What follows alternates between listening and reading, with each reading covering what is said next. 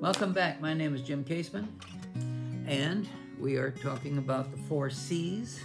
We've already talked about don't compare, don't compete, don't complain. And now we're talking about don't compromise. All right, so let us look at some of the scriptures that have to do with compromise. And of course, we need to speak what? Truth.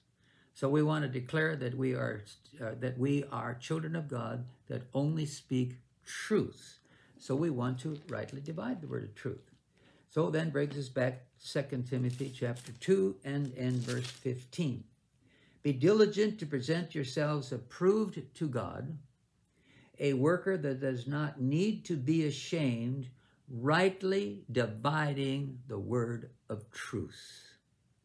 So when you, if you can rightly divide the Bible, then you can wrongly divide it. So let's make sure that we trust the Holy Spirit to help us to rightly divide it. Now, what I have done through the years, and I'll share this just briefly, that um, one way that I have personally just done this to make sure that I rightly divide the word of truth. So in other words, the, the, I always felt the word of God is going to will help uh, divide itself. It'll help um, explain itself. And so what I do is this.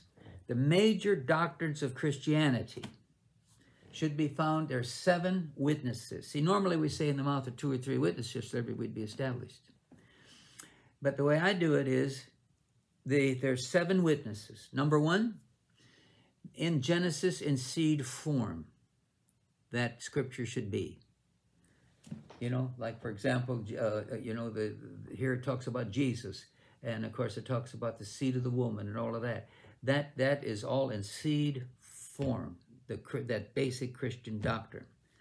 And then secondly, of course, it, you'll find it under the law in types and shadows.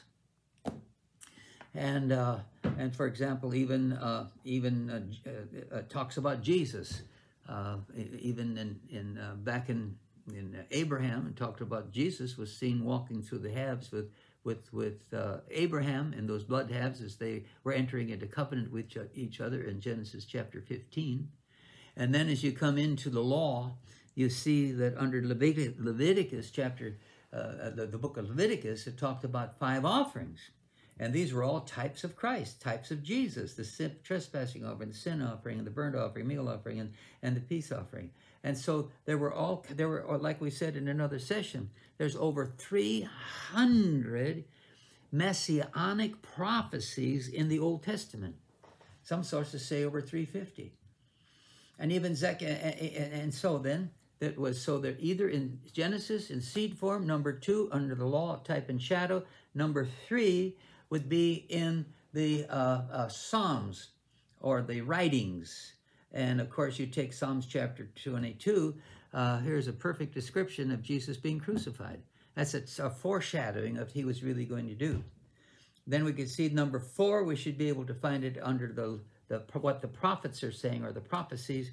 And of course, uh, and Zechariah even talks about Jesus being uh, uh, uh, crucified. It talks about the Jesus riding into Bethany under a, on a donkey, and, and and all of that, just in real great detail. And so that's a, a, a four, and then five would be in the Gospels as Jesus taught it, and then in six as the apostles uh, acted and taught and preached on it in the book of Acts, and that would take you to number seven. So that same thing. For example, let's take healing.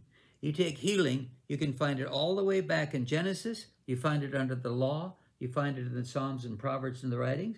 And you find healing in the prophets. And you find scriptures on healing with the Gospels with Jesus. And then you find healing in the book of Acts. Same thing, see? So you get seven witnesses. So that keeps you from getting out of trouble. All right, so rightly divided. The word interprets itself. And don't build a doctrine on just one verse. You're going to get into trouble. People do it all the time. All right, and then in 2 Timothy again, now we get up to chapter 3 and verse 15 and 16. All scripture is given by inspiration of God and is profitable for doctrine, for reproof, for correction, for instruction in righteousness, that the man of God may be complete, thoroughly equipped for every good work. So let's not compromise so that we can be thoroughly equipped for every good work. Now, in 1 Timothy chapter 4, I, uh, well, let's see. Yeah, 2 Timothy, I'm sorry. 2 Timothy chapter 4 and verse 7, and I come on right down here. Uh, what world? I'm back in 1 Timothy again. All right, 2 Timothy chapter 4, verse 7. Pick it up in verse 6. For I am already being poured out as a drink offering, and the time of my departure is at hand. I have fought the good fight. I have finished the race. I have kept the faith. I have kept the faith. I have kept the faith. Now let's rightly divide the true truth, divide the word of God or the word of truth, and let's keep the faith. Let's stay with the truth. Let's not wrongly divide divide it. All right? I have kept the faith. You know, I, I even hear so you say if, if we rightly divert, divide the word of truth, we'll end up fighting the good fight of faith. We'll end up finishing the race, and we'll end up not uh, uh, contending for the faith and and and keeping the faith. Do all three things if we'll rightly divide the word of truth. All right, we'll contend. I've kept the faith, or like Jude 3 puts it, contended for the faith. I contend for the faith. I refuse to compromise. All right. Now, if we compromise, we open the door for the devil to come in, and you know what the devil will do. He'll steal, kill, and destroy. Just as simple as that.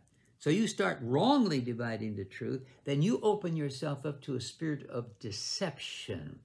And if you don't correct that, or if you don't allow people to correct you once you get deceived, you'll continue to go on and more things will come and more deception will come and pretty soon you'll be so far away from God you'll just say, well, the Bible's not for today like some idiots do today.